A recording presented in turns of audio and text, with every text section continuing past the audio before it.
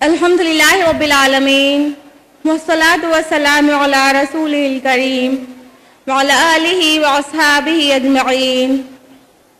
अम्मा और अगर हम ये समझते हैं कि हिजाब हमारी कामयाबी में घोड़ा है, हमारी तरक्की में रुकावट है, अगर हमारी बेटियाँ और हमारी प्यारी बहनें जो है, वो समझती हैं, हम कैसे तरक्की कर सकते हैं, हम कैसे आला तालीम हासिल करेंगे, अगर हिजाब में रहेंगे तो बिल्कुल गलत सोचती हैं। आज हिजाब में खातन कहाँ कहाँ पहुँच चुकी है, जरा दुनिया देखिए। आज पूरे हिजाब में चेहरे के नकाब के साथ खातून पायलट तक बन चुकी है, एरोप्लेन उड़ा रही है, पूरे हिजाब में रहते हुए। हमारे सामने कितनी खातन की मिसाल है जिससे हमें साबित हो जाएगा कि हिजाब हमारी कामयाबी में रोड़ा हरगिज नहीं है। मिसाल के तौर पर मरियम जमीला का नाम सुना होगा आपने। न्यूयॉर्क की है, जो कि पहले यहूदी थी और फिर अल्लाह ताला ने इस्लाम की तोफीक दी। इस्लाम कबूल किया। माशाल्लाह, पूरे हिजाब में रहती है। बेहतरीन राइटर है और उसकी जो बुक्स हैं, वो न्यूयॉर्क पब्लिक लाइब्रेरी में भी लगी हुई है। अभी हाल ही में सवा साल पहले उनका इंतकाल हुआ है।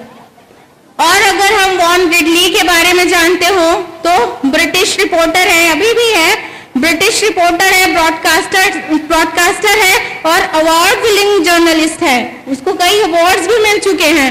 ब्रिटिश में पैदा हुई क्रिश्चियन थी, तालिबान के ज़रिए। वो वहाँ पहुँची और फिर उसको अल्लाह ताला ने इस्लाम की तौफीक दी।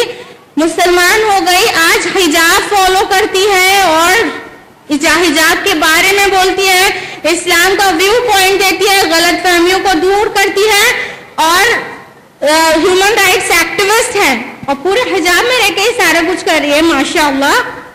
हमारे सामने मिसाल है क्रिस्टियन बेकर की former MTV presenter Kristiane Backer.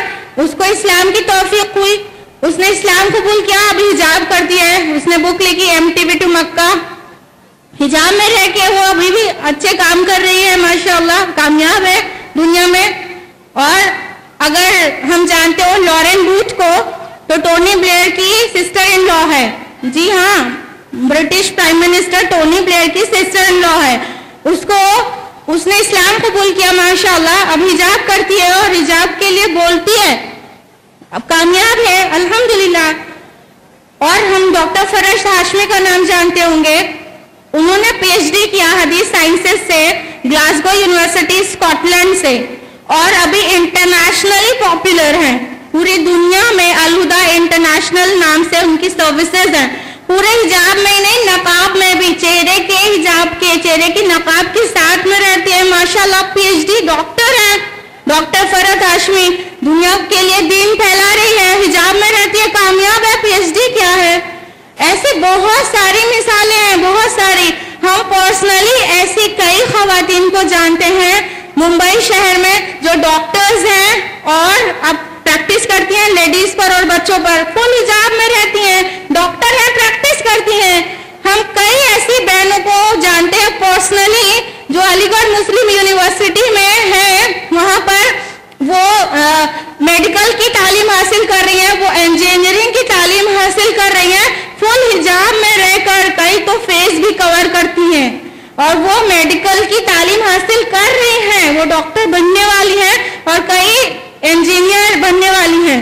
हमारे स्कूल तकवा इस्लामिक स्कूल इलाहाबाद में हमारे पास एक टीचर है जो कि, जो इंजीनियर है, माशाल्लाह। बीटेक कर चुकी है एमटेक कर रही है। तकवा इस्लामिक स्कूल में टीचिंग जॉब पे भी है। एमटेक भी कर रही है और फुल हिजाब में रहती है, माशाल्लाह।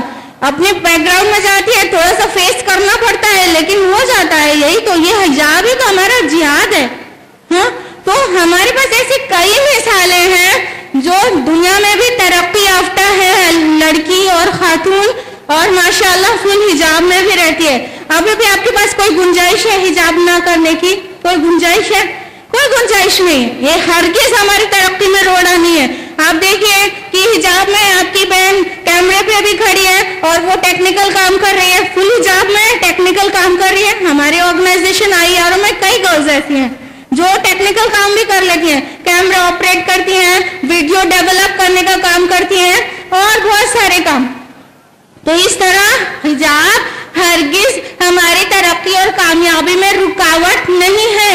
अल्लाह ताला हमें दुनिया में भी कामयाब होने से नहीं रोकता, लेकिन रोकता है हमें नुकसान उठाने से।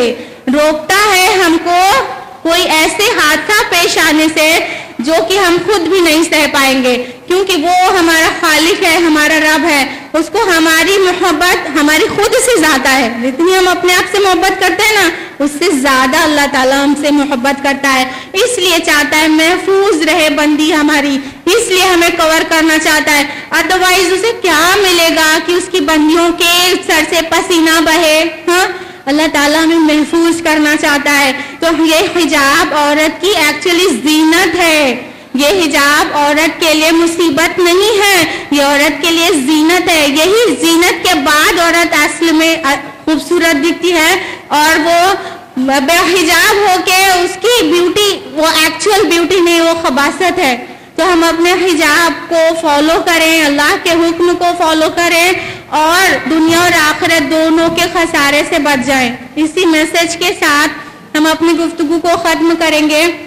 पुराने हकीम की एक आयत के साथ अल्लाह सुबहान तआला ने फरमाया, सूरह बकरा, सूरह नंबर दो आठ नंबर दो सौ अड़सठ में इन शैतान और शैतान तुमको फकीरी से धमकाता है और फहशा का बेहयाई का हुक्म देता है। और अल्लाह ताला तुमको अपनी मगफिरत और अपने फजल की तरफ़ बुलाता है। अल्लाह ताला उसका हकदार बनाए वाखर दावाना रबीआलमीन वसलाम वरहमल वर्का